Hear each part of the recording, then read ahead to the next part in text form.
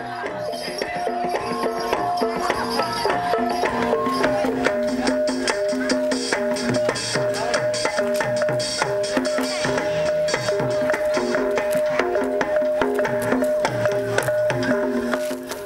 saya Narto. Waktu itu umur saya baru 10 tahun. Saya dan teman-teman suka bermain jaran kepang.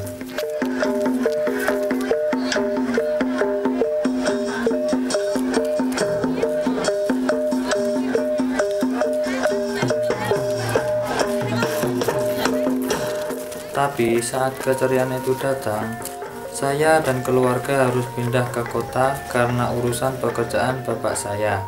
Dan saya sudah tidak bisa bermain jalan kepang bersama teman-teman.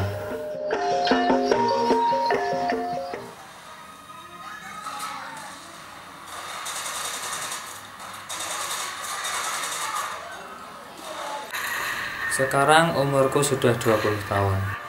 Inilah permainanku sekarang tidak seperti dulu.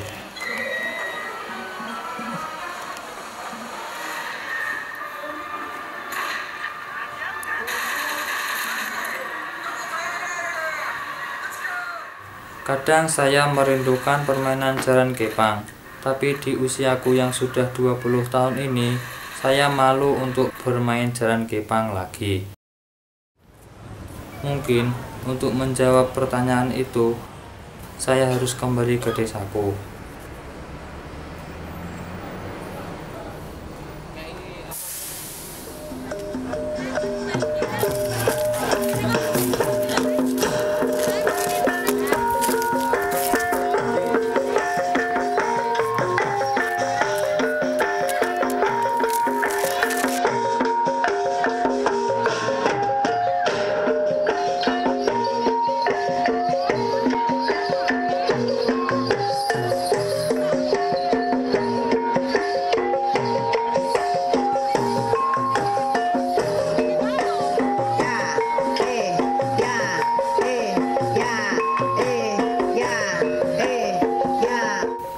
Setelah saya sampai di desaku yang dulu, ternyata selama ini saya sudah salah menilai.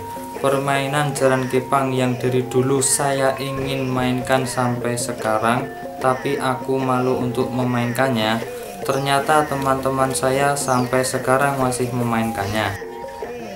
Jika jalan kepang adalah permainan budaya Indonesia, kenapa aku harus malu untuk memainkannya? Begitu juga denganmu, kan?